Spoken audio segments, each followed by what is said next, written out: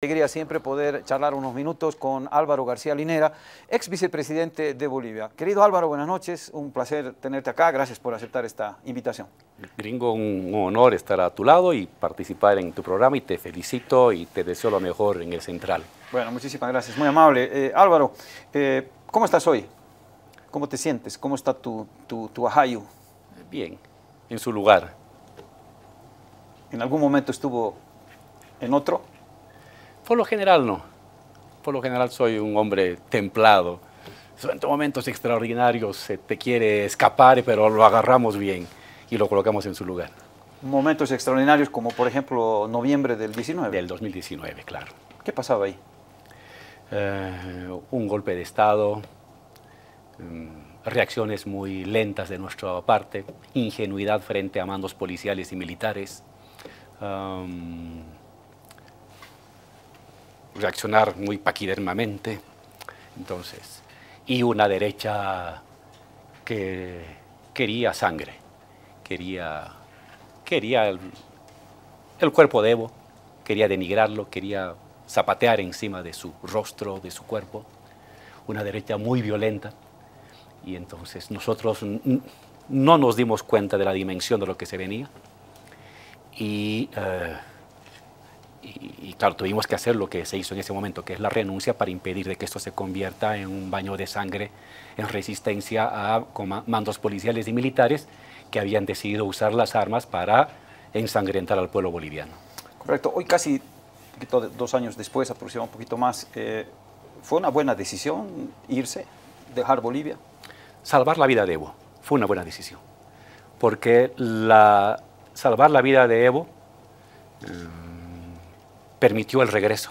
La victoria del 55% es una victoria de Luis Arce y David eh, Choquehuanca, pero está sostenida sobre la presencia de Evo, sobre el legado de Evo, sobre lo que él construyó en términos de igualdad y de justicia para Bolivia. Entonces, el que esté presente era la unidad de que lo popular se mantenía unificado y mantenía a su líder.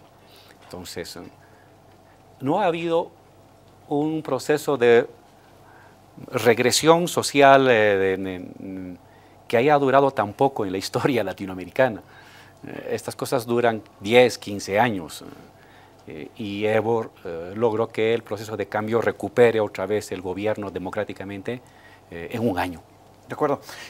fue el ¿Fue el tema del 21F el detonante de todo esto? Es decir, fue como una especie de venganza que hicieron los, protagonistas de ese referendo en ese momento, que tras el desconocimiento, así lo interpretan ellos, de los resultados, ¿no es cierto?, eh, pues de pronto hizo que Evo aparezca nuevamente en la papeleta. ¿Fue el pase de esa factura o, tú consideras que hubo otros elementos eh, quizás más importantes que quizás con esa chispa del 21F hicieron que la situación explote? ¿Cuál es tu juicio? Esto último gringo. ¿Cuáles son esos elementos? ¿Qué no le perdonan a Evo, dicho de otro modo? La igualdad.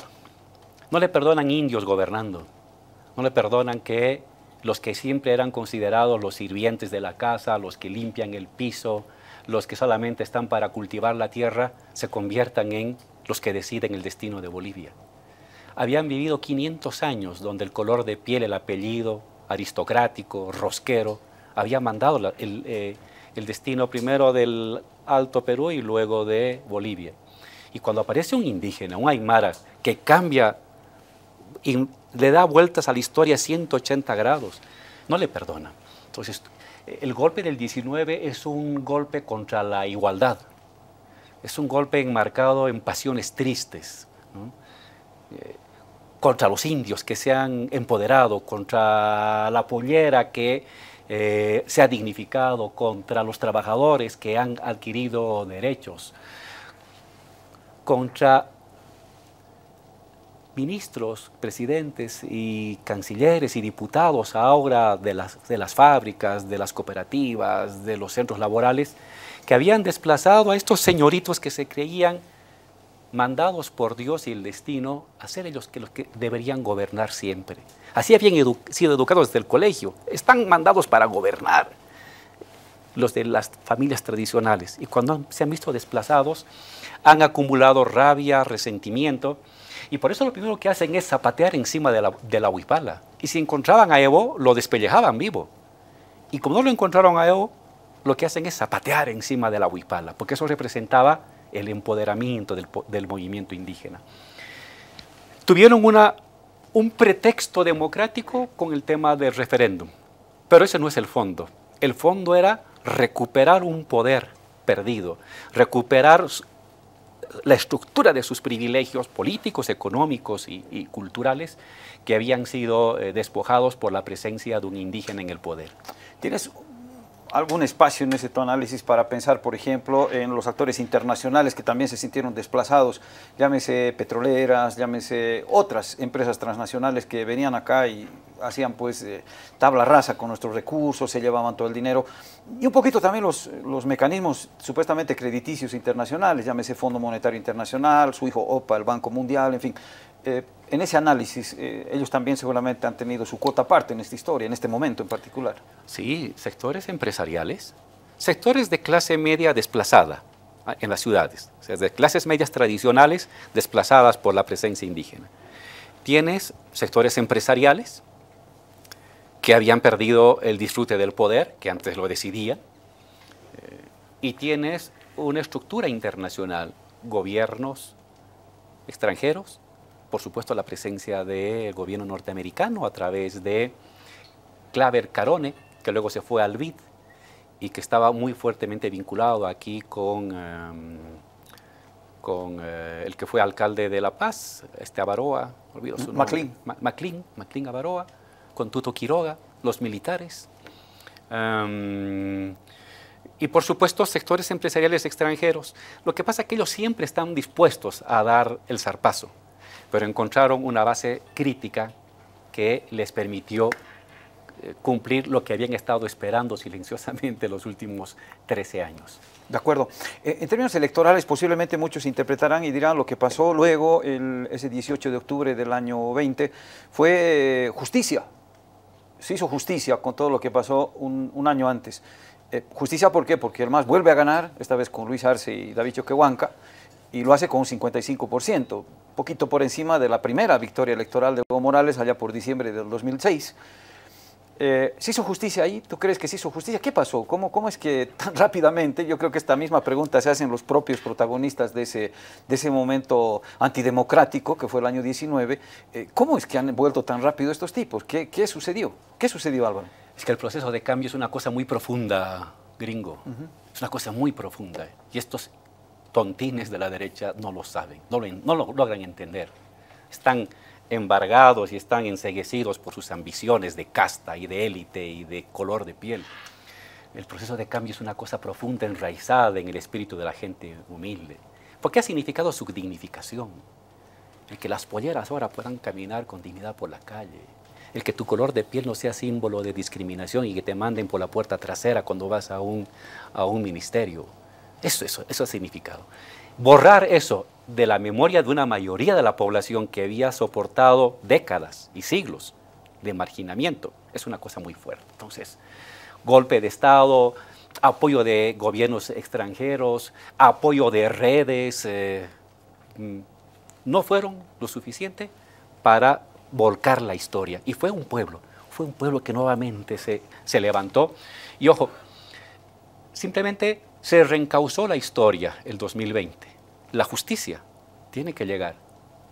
Responsables de la muerte de 37 bolivianos. Responsable de heridas de bala de 500 bolivianos. Responsable del encarcelamiento de 1.200 ciudadanos bolivianos encarcelados por tener una bandera azul y, eh, y blanca. Por decir viva Evo, por tener un afiche de Evo, por haber trabajado con Evo. Eso está esperando. Lo que ha habido es reconducción de la historia, pero lo que falta es la justicia con los responsables de esa masacre y, ojo, y de la depredación del Estado.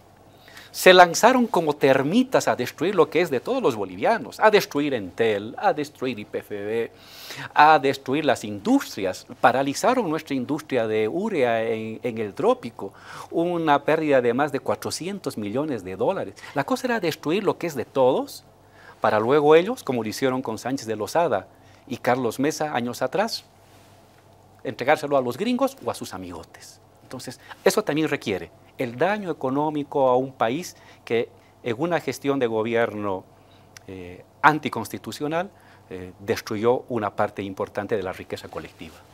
De acuerdo.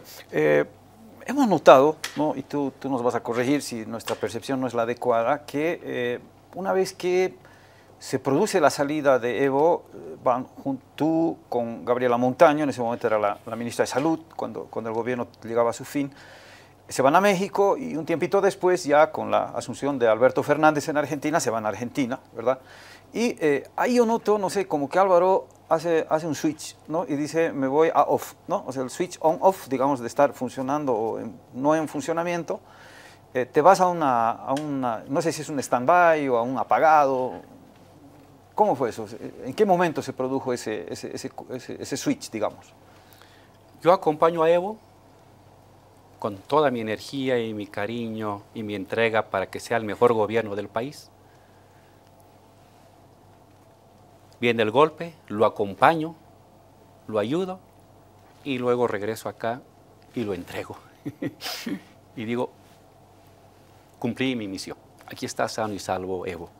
¿En qué momento lo entregas? ¿Cuando entran por Villazón? Cuando entramos, con, no, cuando llegamos al trópico en medio de un millón de personas. Con esa caravana, digamos, que entra de Villazón, que lo despide Alberto Fernández a Evo y, llegamos al trópico donde hay un millón días de después, personas. Cuatro días después, ¿no? Hay que decirlo. Cuatro días después de atravesar comunidades, ver a la gente saliendo de sus casitas con sus banderas azulitas llorando, a las abuelitas sacando comidita para darle al Evo en, en sus recorridos. Es una cosa fantástica lo que vimos ahí. Era el pueblo profundo, el que salía a saludar a su papá.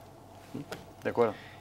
Y cuando llegamos al trópico, le entrego la tierra que yo levanté del trópico y la entrego a Evo. Y al entregarle la tierra que yo me llevé en mi maletín envuelto en la bandera boliviana, estoy también diciéndole, te traje Evo, estoy aquí, te acompañé hasta aquí, ahora me toca a mí hacer otras cosas.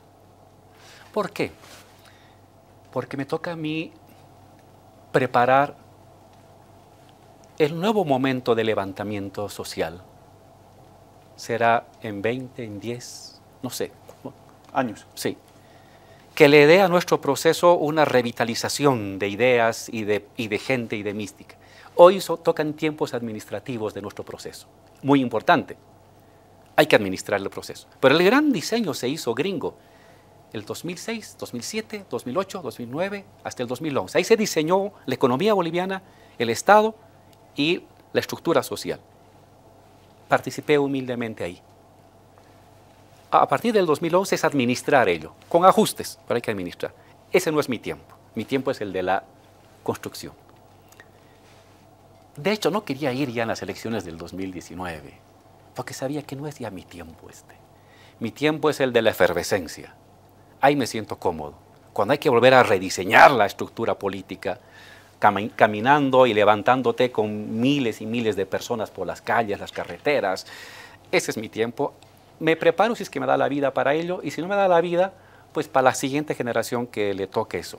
Y ahora le corresponde esto que es muy importante, la administración.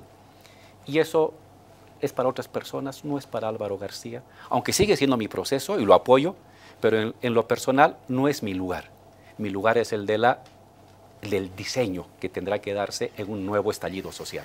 De acuerdo, cuando dices, em, yo el 19 no quería ir, ¿no? Sí. Eh, y hay varios, varias, seguramente, formas de, demostrarlo, ¿no es cierto? Declaraciones, etcétera. Eh, pregunta, ¿fue un error insistir con Evo para el 19 a tu juicio? No, no, no, no, para nada, para nada. Porque Evo representa lo que es tan difícil en Bolivia, la unidad de lo popular tan difíciles. Por lo general lo popular es fragmentado, disperso, separado. Es la tragedia de, la llegada de, de Pizarro en 1532 hacer enfrentar indígenas contra indígenas para que luego gobiernen los españoles. Y luego con la República hacer pelear unos con otros para que gobiernen oligarcas y luego para que gobiernen los hijos de los hacendados. Y cuando se da esta conjunción de elementos históricos fascinantes de que se logra la unidad de lo popular en Evo, había que persistir en esa unidad hasta lo último, porque luego, y lo estás viendo ahora, lo popular tiende a fragmentarse. Es casi una ley la fragmentación. Y Evo en su momento, el 19 también, representaba la cohesión de lo popular. no me arrepiento de la postulación de, de Evo, la defiendo. Lo que sí digo yo, mi lugar apoyando a Evo ya no era el de ser su vicepresidente, llegamos al 47%, sino el de ser el formador de la juventud para la siguiente oleada de luchas sociales. De acuerdo.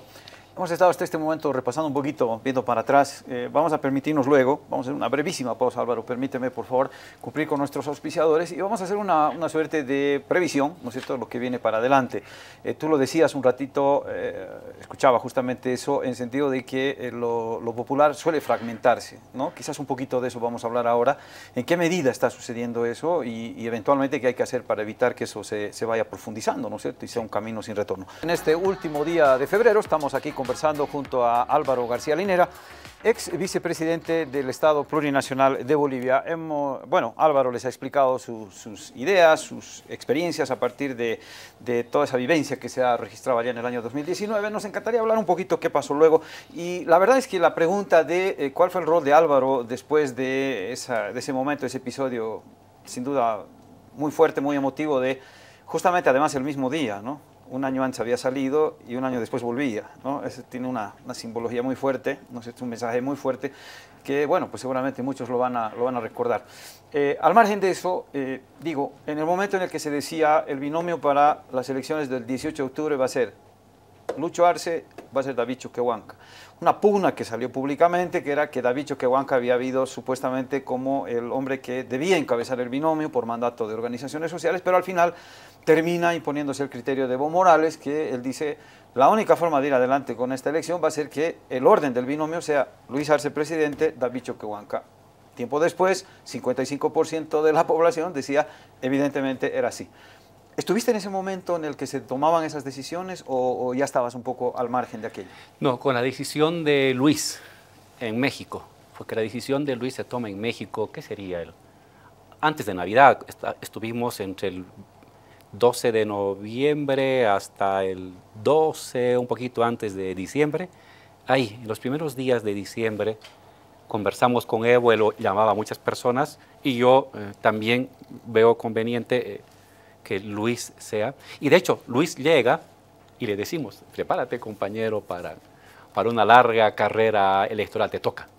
Él estaba un poco reticente al inicio, pero había que convencerlo, porque llega de, del exilio, le, dan permiso para salir de, de, donde estaba, y ahí había que darle la noticia y convencerlo para que no, eh, no se haga el quite. Y contribuimos a convencerlo y a justificar por qué correspondía a él. Luego ya con el tema de David, yo ya, eso que fue en, en Argentina, ya no me metí en el terreno del vicepresidente. Correcto. Eh, casi es ocioso preguntar si fue una buena decisión. Bueno, el, el voto lo ha dicho. Claro, nunca sabremos, una hipótesis inconfirmable, qué hubiera pasado si iba Choquehuanca de presidente y Arce de vice. Eso nunca se sabrá. Es una hipótesis, como digo, que no se podrá eh, corroborar nunca. Eh, pregunta, en ese momento en el que se lo plantean a, a, Luis Arce, él, digamos, termina aceptando, ¿puso alguna condición y dijo, miren, yo acepto, pero a condición de ABC, digamos, no, o, no, o no, no, hubo nada de eso? No hubo condición, nada de solamente eso. la preocupación, ¿no? Claro. La preocupación porque estabas en un momento muy represivo. Claro. ¿no? Murillo con su con sus esposas. Con sus esposas y su banda de paramilitares para perseguir y quemar casas estaban ahí. Entonces él estaba preocupado, pero asume el reto. Sin embargo, hubo unos días de déjemelo pensar, voy a consultar. Siempre es así, el presidente Luis. Se dio sus días para pensar, para consultar y al final pues vamos y, y yo me acuerdo que ya, Luis, te toca, te toca, es, te toca asumir la posta en este periodo de transición. Dices periodo de transición. Sí, porque tienen que volver a gobernar los indígenas. Tenemos que tener presidentes indígenas nuevamente, eh, gringo. Esa fue mi pelea y sigo peleando por él. Indígenas gobernando Bolivia. Respecto a ese tema, ¿no? y aquí traigo a colación una conversación que tuvimos hace un tiempito con Beto Almeida, periodista de Telesur de Brasil. Él nos contaba, poco quizás intencionadamente, nosotros le preguntábamos cómo fue la historia de la transición de Lula a Dilma ¿no? ¿Cómo, cómo, cómo se hizo eso? Porque en realidad Dilma, digamos, había tenido un rol, digamos, no muy brillante, no había sido una de las figuras más importantes, no venía de la organización social, el PT no la reconocía mucho, ¿no es cierto? Era una funcionaria, digamos, una burócrata que había gozado de la confianza de Lula, ¿no es cierto? Le, veía seguramente algunos atributos Lula, como que terminó ganando la elección Dilma, pero nos contaba Beto que había habido una suerte de, de acuerdo, ¿no es cierto? Una cuestión implícita en la que se hablaba y se decía, en consideración a que constitucionalmente Lula no puede participar en estas elecciones, vamos a ti Dilma, en la perspectiva de que luego de, tu, ese tu mandato, Lula vuelva nuevamente y se quede otros dos periodos, tal como lo habilitaba la Constitución. ¿Hubo algo de esto con Lucho? ¿Se habló algo de esto de decirle, mira, tú tienes que tener claro que aquí vas a hacer una transición porque el próximo gobierno tiene que ser de un indígena, llámese Evo Morales o llámese otra cosa? ¿Hubo aquello? ¿No se habló de ese no, tema? No, no se habló. Yo, que yo me acuerdo, no se habló no hay de ningún ello, acuerdo. pero estaba en mi fuero interior. No, de acuerdo. Este es un momento de, transición. ¿Evo al respecto tenía alguna posición en el sentido de decir, Lucho, es una transición a que yo vuelva luego? ¿O, no se habló de ese tema? No se habló de ese tema. Que yo me acuerdo, no, no se habló. ¿Y debió haberse hablado o no? Mm, no. no. No. Me parece que es una obviedad. Este es un proceso de indígenas. El núcleo de este proceso no son las clases medias. El núcleo de este proceso de cambio es lo plebeyo, lo popular, ¿no? la pollera. De acuerdo. Entonces, es casi como una obviedad decir, ¿quién tiene que liderizar esto? Pues son los indígenas y nosotros, los sectores medios, apoyar y sentirnos orgullosos que nos lidere un indígena. ¿no? Entonces, así hemos nacido, así me he constituido yo y creo que es una obviedad que así tiene que continuar a futuro. De acuerdo. Vuelvo a la historia de, de Lula y Dilma. Cuando Dilma completa su primer periodo, que lo hizo muy bien, tenía un alto nivel de aprobación, etcétera, eh, bueno, llegó el momento de decidir, bueno, ahora qué pasa, ¿no? ¿Cómo, cómo continúa esta historia? Lula, cuenta Beto Almeida, Lula esperó que generosamente Dilma le diga a, Lula, te devuelvo lo que tú me has prestado, porque entiendo que me lo has prestado, así que compañero, vuelva usted al, al, al ruedo, ¿no es cierto? Usted nuevamente tiene que ser presidente. A Dilma le gustó, se engolosinó aparentemente con la presidencia y bueno, terminó como terminó el, proceso de, Dilma. Eh, ¿Qué hizo Lula en ese momento? Porque yo le pregunté a, Beto y le digo, y Lula no reaccionó, no le dijo, por ejemplo, oye, ¿qué onda, no? Eh, habíamos quedado o, estaba implícito que yo tenía que volver. Lula se retiró, no dijo nada, se quedó callado. No es lo mismo que está pasando hoy con Evo Morales, que aparentemente está un poco diciendo, yo también reclamo un espacio. Yo también quiero participar en un eventual momento preelectoral. ¿Es así o lo estamos viendo bien o, no es así? Yo creo que sí se está, no sé de Luis, no he hablado con Luis hace años, pero creo que de su estructura de gobierno hay gente que está pensando y está empujando la idea de que, oye, debemos continuar una gestión más. ¿Gente en qué nivel, por ejemplo? Ministerios, fundamentalmente su estructura ministerial, su, equipo político. Eh, y, está haciendo todo lo posible para consolidar eh, la candidatura de Luis, apoyándose en ciertos criterios, algunos verdaderos y otros falsos. Un criterio falso es de que Luis mm, tiene el apoyo de los sectores medios. Quien nos ha dado la victoria es los sectores populares. Es lo de abajo, los plebeyos, la gente sencilla, la gente humilde. Hay un sector de clase media que votó descuidadamente por nosotros un pedacito del 2005, luego se arrepintió y que nunca ha vuelto a votar por nosotros, ni va a votar. Y si ha habido 55% de Evo, luego 64, eh, luego 62, luego 47, es por lo de abajo, el campesino, el obrero, eh, el vecino. Mm, y encima Luis, eso es muy importante gringo, se ha peleado con la clase media cruceña. Los 36 días de paro eh, y la detención justa de Camacho, defendiendo al gobierno constitucional, va, ha generado un quiebre moral entre clase media cruceña urbana Santa Cruz es el 70% del voto de todo el departamento, ciudad de 70%. Y eso va a durar una, dos, tres elecciones. Eso no lo están tomando en cuenta. Si supuestamente la clase media podía apoyar a Luis, aquí hay un problema. se ha peleado con ella, como nos peleamos nosotros con la ciudad de, Potosí. ¿te acuerdas? Por un tema distinto, nos hemos peleado con la ciudad de Potosí. Y hagamos lo que hagamos, no van a cambiar. Pero en Potosí la ciudad es 30% y las provincias son el 70%. En Santa Cruz es la inversa. Estás hablando de una buena votación. Y uno puede ganar Bolivia sin ganar Santa Cruz, sin llegar al 51% en Santa Cruz. Pues si tienes buena votación en Occidente y una votación importante en Oriente. ¿Cuánto, por ejemplo? ¿Un 30, 40? Por lo menos. Tienes que moverte por encima del 35. Nosotros llegamos al 49. Con menos del 30 tú dices... Estás del otro lado. Si no tienes 30% en Santa Cruz, difícil. Así ganes en el occidente, no llegas a... Entonces, esta falacia de decir, eh, eh, sin, sin Evo podemos ganar, se derrumba. No es cierto. Si Luis quiere una candidatura, tiene el derecho a candidatear, necesita el apoyo de Evo. No va a ganar sin el apoyo de Evo. Sin ese soporte popular plebeyo, que haga lo que haga Evo, vota por él, porque fue el que le devolvió la dignidad después de siglos de opresión. Pero a la vez, Evo, sin el poder del Estado que representa Luis, Luis no es un liderazgo ni político ni social, pero tiene el liderazgo del Estado. El Estado te da voto. Evo, sin ese pedazo de voto que te da el Estado, ya no alcanza, ya no alcanza el 50%. Entonces estamos en un momento en que ninguno de los dos puede ganar por separado. Juntando las dos fuerzas, el voto plebeyo, popular, indígena, de base, emotivo de Evo, social. Es el líder más importante de la sociedad de los últimos 100 años. Y el voto que te da el poder del Estado, te dan la victoria para el 2025. Si tú divides eso, estamos derrotados. ¿Y eso tiene que volcarse en la papeleta o no necesariamente? Digo, en términos de binomio, por ejemplo, vamos a suponer, en este esquema que tú planteas, desde tu perspectiva, de que lo indígena es lo que tiene que privilegiarse a tiempo de gobernar, estaríamos hablando de un binomio en el que esté Evo Morales de candidato a presidente y Luis Arce de candidato a vicepresidente. En mi criterio personal. Sí. Pero que se decida conjuntamente. No, de acuerdo. Si se decide, ¿Esa es tu propuesta? ¿Tú crees que por ahí podría salir la cuestión? Es una posibilidad. Es una posibilidad. Es una posibilidad, esa, y otra posibilidad es que ambos líderes, ambos líderes, ambos, el estatal, Luis, y el social, político, Evo, digan, bueno, damos paso a otra generación. El plan de Fernando Mayorga. El plan de, Fernando Mayor, Plan B. Plan C, invertido. Eh, Luis, Evo. Pero lo que sea, lo que vaya a decidirse, en unidad, acordado entre todos. La pretensión de que uno diga, yo solo gano, está fallida.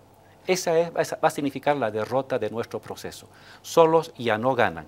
Hay que juntar las dos fuerzas, la histórica, social, indígena, plebeya, con la fuerza estatal, y eso nos da una o dos gestiones más de gobierno, haciendo algunas correcciones en la economía, nos da todavía, nuestro proceso tiene todavía potencia para durar un buen trecho. Hay un tercer actor en esta historia que es David Choquehuanca, que seguramente también merece alguna consideración de tu parte, o, cómo lo ves en términos de liderazgo, de presencia. Sí, pero él no es un líder social, es una buena persona, es mi vicepresidente y merece todo el respeto, pero no es un líder de carga social, ¿no? Eh, tampoco viene del sindicalismo, ¿no? entonces, puede ser, si Luis se hace al lado, entonces David. Evo, Evo David. Pero lo importante de Luis y de David no es su liderazgo propio, es que representan al Estado, que representan el poder del Estado y la votación que te da el manejo del Estado. Te da una votación del 10, del 15, del 20% obligatoriamente. Todo, independientemente de quién sea el presidente. Siempre te da una votación.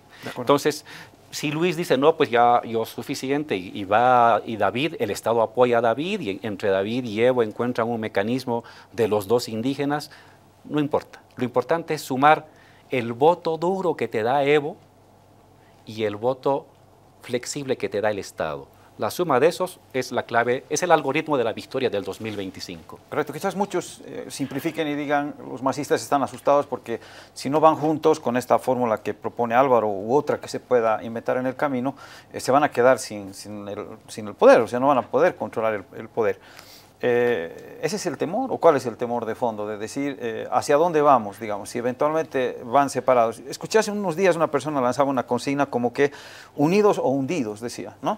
Está bien. O nos, unimos, o nos unimos o nos hundimos, decía esta persona, ¿no? Entonces, por ahí viene Pero un poco es que la de ahí cosa. venimos. De acuerdo. ¿Cómo hemos logrado ganar el 2005 gringo? Sí. Porque hemos logrado unir, Evo logró tejer y unir a todo lo popular. Ese es nuestro origen.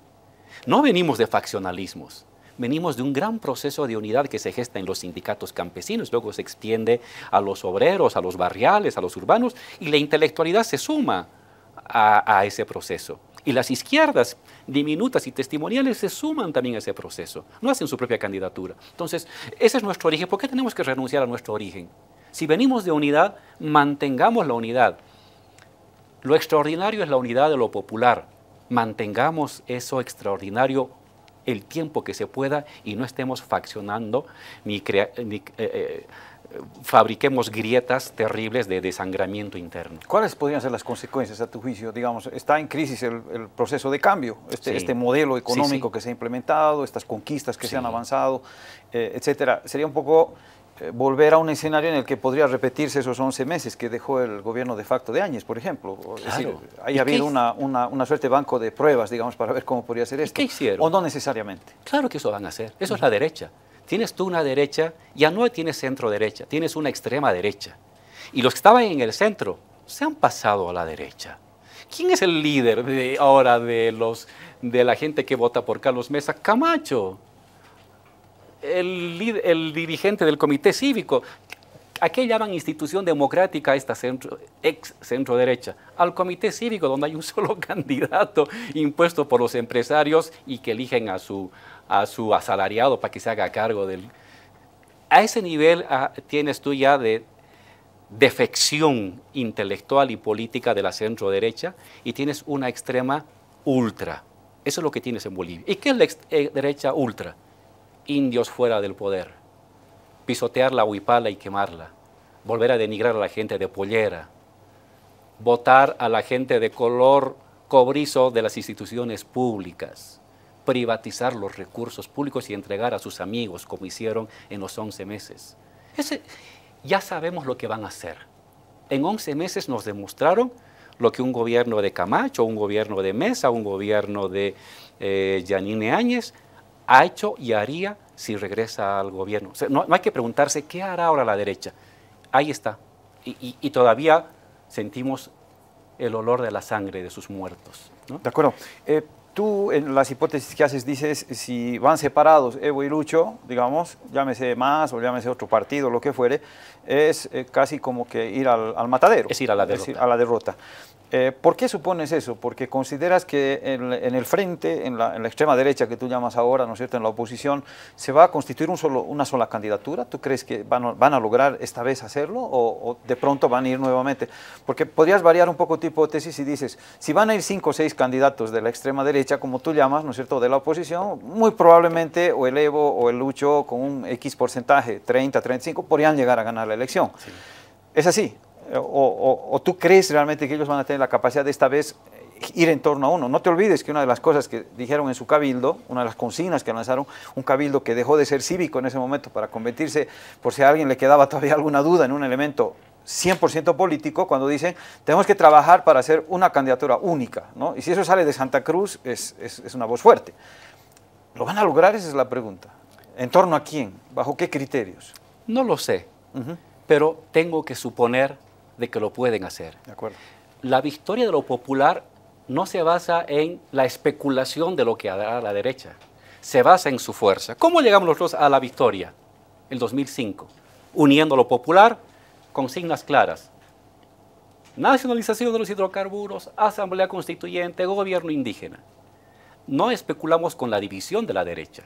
Si se divide, qué bien, pero si no se divide, tú no puedes confiar en eso. Tienes que confiar que vas a lograr tus votos porque le ofreces al comerciante, al campesino, al obrero, al joven, un futuro de bienestar. Vamos a industrializar.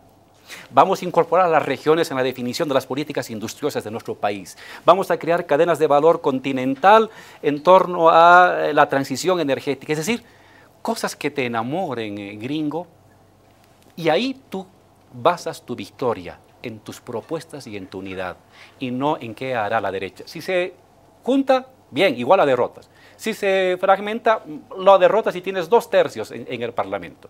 Mejor. Pero confía en tus fuerzas, no en la debilidad de tu enemigo, sino en la fortaleza de tu, de tu campo, de tu, de tu ejército. Correcto. Eh, la última pregunta, Álvaro. Eh, ¿Qué estás dispuesto a hacer para tratar de mantener esta unidad y tratar de hacer que eh, el que representa en este momento lo que tú dices, la fuerza del Estado y el que representa la fuerza del movimiento social, puedan sentarse, puedan reunirse, puedan ablandar sus posiciones y puedan finalmente agarrar un camino común? ¿qué, ¿Qué estás dispuesto a hacer para eso? ¿O qué piensas hacer para eso? ¿O qué estás haciendo? Hablar, hablar. Hablar y que empujemos desde abajo a la unidad de nuestras autoridades y de nuestros líderes. Entiendo que hay diferencias eh, y cada vez se van agrandando más porque encima dejamos hablar a personas descalificadas que hablan a nombre de los jefes. No, no, no, no. Y eso está desangrando a nuestro proceso. Y verdad, si hay alguna responsabilidad de que perdamos el 25, va a ser esta división. Ellos van a ser los responsables de que perdamos. Antes de caer en esa tragedia, buscar la forma de, unirnos. ¿Quiénes son estos? Evo y Luis. ¿Ellos serían los responsables? de la unidad de nuestro proceso. Si no se unen y un desastre... Ellos también van a ser los responsables. Y yo te lo digo con mi, mi admiración y mi cariño por Evo. Yo soy evista. Yo defiendo al Evo. Pero lo quiero ver uniendo. Lo quiero ver como el 2003, 2004. ¿Por qué fue, por qué el liderazgo de Evo se impone sobre el de Felipe Quispe? Porque Felipe se repliega al altiplano y Evo articula todo. El evismo es la capacidad de tejer alianzas. Hay que recuperar ese espíritu. Evo tiene que recuperar ese espíritu de volver a unir a la sociedad boliviana, de hablar para la gente y no para hablar de sí mismo. Y Luis tiene que dejar o tomar medidas para que deje esa guerra sistemática contra los evistas y contra Evo, de parte, no de él, pero de sus funcionarios, que están en una campaña contra Evo, en una campaña mezquina, porque ¿qué es, qué es evistas y, y luisistas? Es una pelea por pegas. Ojalá fuera una pelea por programas de industrialización o por un nuevo derecho, un nuevo bono. Es la pelea por un cargo. Eso es una degradación del proceso de cambio. Y para reencauzar el proceso de cambio no es Álvaro. Álvaro es un militante más de base.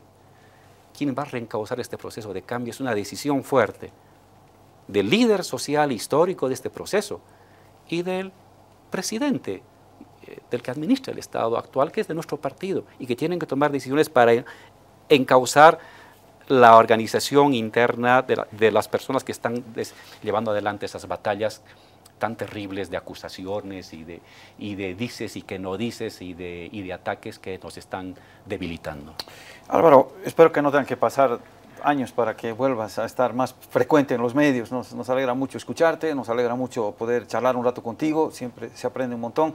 Así que nada, pues agradecerte mucho y espero que no, no tengan que pasar tanto tiempo para que vuelvas a estar acá con nosotros. Es, ha sido un verdadero placer. Gringo, las veces que tú me invitas voy a estar acá. Es un placer y, muy lindo estar en tu programa y, y, me encanta que estés haciendo televisión y algún día quisiera ser tu camarógrafo o el que te trae el agua o el que te hace el papel o sentarme a tu lado para... Por favor porque se aprende mucho y siempre he admirado tu trabajo televisivo. muchas gracias. gracias por los piropos y ojalá algún dato más bien vuelvas tú a la tele, que es un ámbito en el que supiste estar en su momento. Quiero hacer tele. Es un, escenario muy interesante, sobre todo cuando uno tiene muchas cosas para decir, y es tu caso, ¿no? Es decir, hay, tanta gente en la tele que a veces sin nada que decir se para frente a una cámara y, le da y le da, así que ameritaría, nos encantaría, nos encantaría verte. Un cariño grande para ti, para tu familia, ha sido un placer realmente y nada, pues seguimos en contacto. Gracias, Gringo. Espero, espero pronto y con mejores noticias seguramente. Gracias, ¿Sí? Todo lo mejor, muchas gracias.